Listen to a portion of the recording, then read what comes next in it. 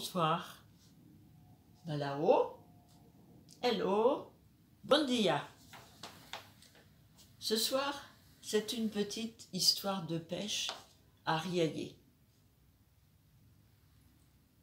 Surprise. Pépé Mortier aimait la pêche. Il se levait très tôt le matin, parfois avant que le soleil se, n'entame sa course. Il commençait à briller et se reflétait dans la rivière. Dis-moi, Pépé, c'est qui Alors, Mortier. Pépé, c'est mon père. Ah, voilà. Voilà. Le père de Mamio s'appelait Henri Mortier. Voilà. Et tout le monde l'appelait Pépé. Pépé.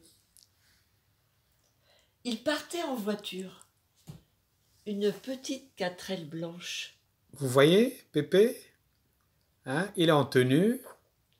Il est juste devant sa voiture, une quatraine blanche. La rivière était un peu éloignée de la maison. Il emportait deux cannes à pêche, un petit coffre rempli de lignes, d'hameçons et d'appâts. Il emmenait également son pique-nique.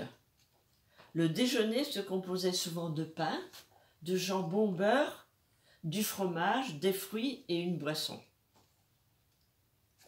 Pépé Mortier arrivait le premier Souvent le premier. très souvent le premier, près de la rivière.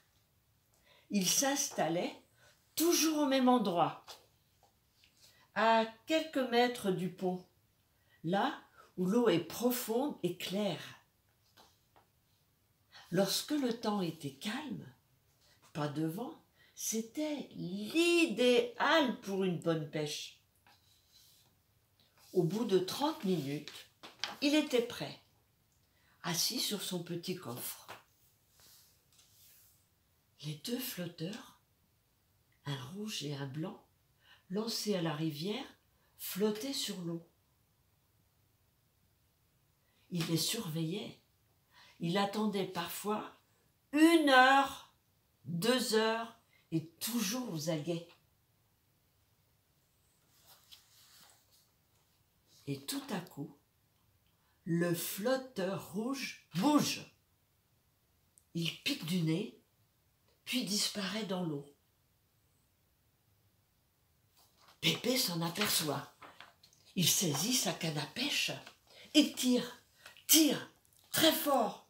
Le poisson accroché se débat. Il remue dans tous les sens.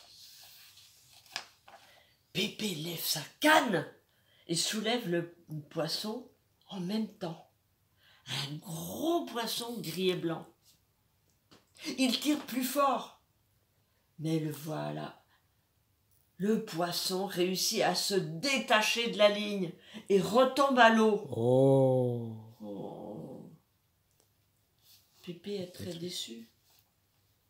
Il reprend sa canne à pêche, remet un gros verre sur l'hameçon et lance de nouveau la ligne dans la rivière. Mais le vent se lève. Les gros nuages arrivent qui annoncent la pluie. Alors Pépé décide de rentrer à la maison. Il range tout son matériel dans la voiture et il repart tout Bredouille. triste, bredouille, à la, À la maison. Voilà. La suite de l'histoire demain. Pépé, toujours à la pêche. Je vous dis bonsoir à tous. Je vous souhaite une bonne nuit et je vous envoie des gros bisous. Alors, maintenant, Dodo. Dodo. Bisous, bisous, bisous. À demain.